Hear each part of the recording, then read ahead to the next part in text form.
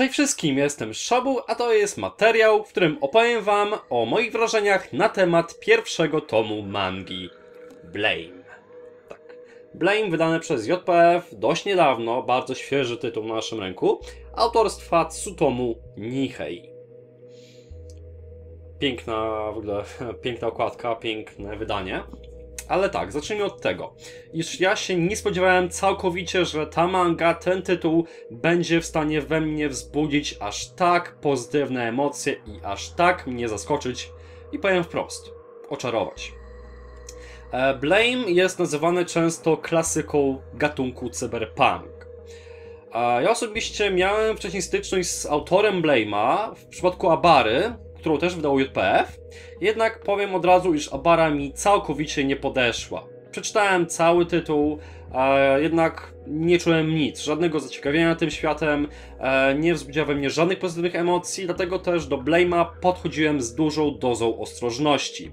Ale zanim w ogóle kupiłem Blame, przeczytałem dość rzetelną opinię, dość długą i naprawdę wyczerpującą, totalnego fana tej serii, który, mm, który opisał się konkretnie dlaczego tę mangę warto kupić i jednocześnie powiedział, iż jest to według niego najlepsza manga, e, jaka, jaka powstała w ogóle.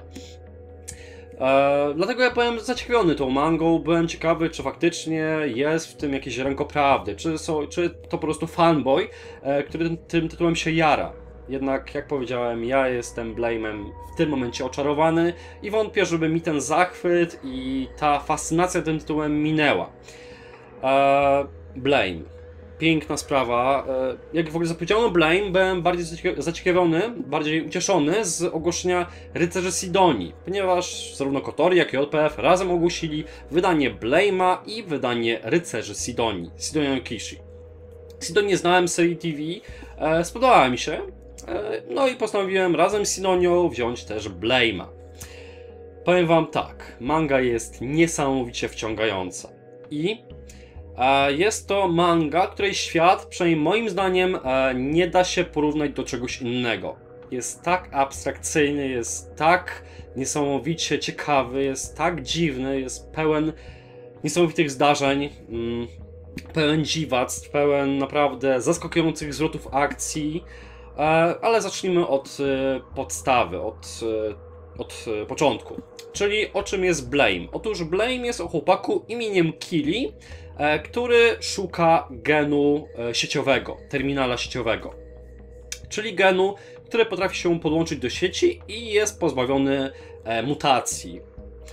E, powiem wam tak, fabuła no nie porywa. Nie porywa, no nic, e, nie jest to nic, co by od razu człowieka zachęciło do kupna. Jest, e, jest taka po prostu zwyczajna ta fabuła, przynajmniej dla mnie. I tak, zaczynamy. Rzuca nas na głęboką wodę. Od razu akcja, od razu coś się dzieje. I jednocześnie czytając cały ten tytuł, czytając cały ten tom konkretnie, po prostu nie wiedziałem, co się dzieje miejscami, bo ten świat jest tak naszpikowany różnymi budowlami dziwnymi i ma się też wrażenie, ma się nieodparte wrażenie, iż jest on nieograniczony. E, Ten, ta olbrzymiość tego świata, ten ogrom, ten kolosalny rozmiar tego świata rzuca się w oczy. Przynajmniej ja mam takie wrażenie, że tego świata nic nie ogranicza. Podobno jest 3000 e, kondygnacji, E, W tym świecie jednak tak naprawdę nikt nie wie, czy jest to prawda, czy jest ich jeszcze więcej i ta to właśnie niedopowiedzenie sprawia, iż no, świat Blame'a mnie przytłacza. Jednak nie w tym negatywnym sensie, iż ja się pozwalać nie mogę, pod, kiedy czytam, tylko faktycznie e, moja wyobraźnia działa, że kurczę, co tam jeszcze jest w tym świecie? Co Nihei wymyślił? E, bo to, co tym, tym, czym nas bombarduje, jest po prostu jego czysta abstrakcja, jest jego tak niesamowicie rozbudowana wyobraźnia, iż ja się zastanawiam, co ten koleś miał w głowie, że stworzył coś tak wspaniałego. Coś tak e, nieograniczonego żadnymi, e, żadnymi granicami. To jest pokaz czystej wyobraźni. A rozmiar, wydanie takie, a nie inne Blame'a, tak ogromna, tak ogromne, w ogóle swoją drogą ledwo mi się mieści na półce, sprawia, iż te rysunki możemy podziwiać jeszcze bardziej. Możemy przyjrzeć się detalom, e, które Nihei narysował i to jest po prostu niesamowite, jak ten autor był w stanie stworzyć aż tak piękny świat. Piękny dlatego, iż e, w tej jego kresce, w tym jego sposobu, sposobie rysowania jest kunszt. Jest to coś naprawdę wspaniałego, iż e, te budynki, te wszystkie kondygnacje, ten cały świat, te wszystkie elementy, które otaczają Kiliego i które możemy zobaczyć w tej manze, są mega dziwne, są... No sobie nie wiadomo, co jeszcze Nihei, Nihei stworzył. Tak samo jak e, mamy Kiliego, który podróżuje przez te wszystkie kondygnacje, który podróżuje przez te wszystkie strefy, e, ten, przez ten cały świat. Jedna, jeden obszar jest dziwniejszy od drugiego. Jeden obszar robi większe wrażenie niż ten drugi. Trzeci jest jeszcze większy. A to się nagle pojawia coś do góry nogami, a to coś jeszcze innego. To pojawiają się jakieś roboty, jakieś istoty. W ogóle istoty, które się pojawiają w Blame są tak dziwne, są tak niepokojące i są tak miejscami przerażające, iż no ja byłem po prostu mistrzem opadała często.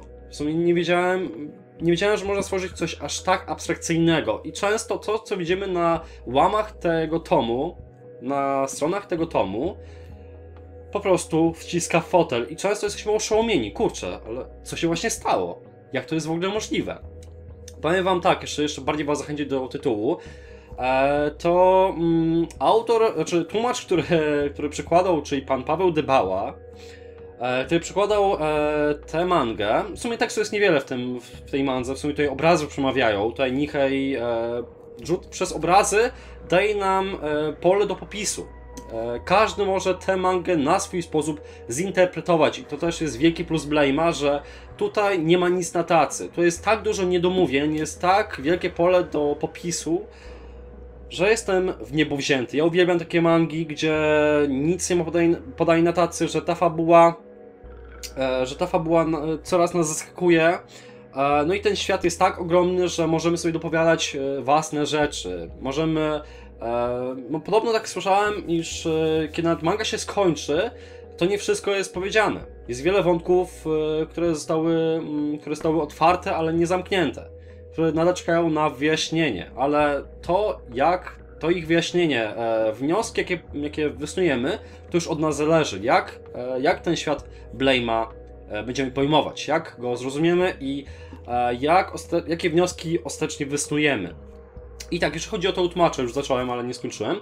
E, jeśli chodzi o tłumacza, no to napisał, iż e, nawet sam autor, tworząc artbooka do Blame'a, pozostawił wiele rzeczy, znaczy wyjaśnił sporo rzeczy, ale też sporo rzeczy, e, które opisał, ma formę hipotez. I jest to, tak jak napisał pan Paweł Dybała, jest to, e, przytoczę wam dokładnie, e, świadczy o tym, jak niejednoznaczne jest uniwersum Blame'a.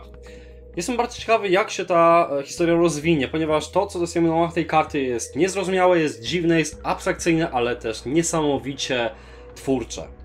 Także ja polecam od Ciebie całkowicie, z całym sercem. Tom mnie oczarował, mnie wciągnął. Obrazy, które podziwiano na tej karty jeszcze w tym, e, w tym rozmiarze wprawiły mnie w zachwyt. E, dodajmy do tego Kiliego. Kili to osoba, tak jak ktoś fajnie napisał i trafnie, moim zdaniem, osoba, która zwalcza zło złem. Ma przy sobie najpotężniejszą broń, prawdopodobnie potężniejszą broń w całym uniwersum Blame'a, ale to, co mnie zaskoczyło, spójrz na okładkę. Ma się wrażenie, że Kili jest e, wzrostu no, normalnego. Jest wysoki, jest posadnym mężczyzną. To, co się okazało, to mnie zaskoczyło niesamowicie, to to, że Kili jest wzrostu małego dziecka. Biorą go za dziecko przez jego bardzo mały wzrost. Kwestia perspektywy. Naprawdę. Tutaj myślałem, że Kili jest normalnego wzrostu. Tu nawet był taki obrazek, e, taki kadr z mangi, gdzie kobieta naprawdę bardzo wysoka, tak mi się wydawało, góruje nad Kilim niesamowicie. Okazało się, że Kili takie małe, małe dziecko. Nie jest ograniczony niczym, e, jest niepohamowany, robi co chce i ta wolność mi pasuje. Okej, okay, to by było na tyle. Aha, jeśli chodzi o Nicheja, to zdaję sobie sprawę, że jego styl może wielu osobom nie podpaść. Może wręcz odstraszyć, ponieważ jest on bardzo charakterystyczny, ale mimo wszystko dla mnie ta kreska jest piękna. I ja często po prostu byłem w siódmym niebie, kiedy tę, kreskę podziwiałem, kiedy przewijałem, przerzucałem strony tej, tego tomu. Ja polecam od siebie Blame'a, bo to jest manga, która nie daje na niczą na tacy, jest jedyna w swoim rodzaju, Przynajmniej tak, takie wrażenie sprawia. Na początku jestem nią oczarowany całkowicie. No i według mnie warto te pieniądze wydać. Teraz niestety już twardej nie dostaniecie e, oprawy, ponieważ była tylko w preorderze i przez tylko określony czas. E, Będzie miękka, ale myślę, że z miękkiej też będziecie zadowoleni. Okej, to by było na tyle. Dzięki za uwagę i do zobaczenia w kolejnych materiałach. Na razie.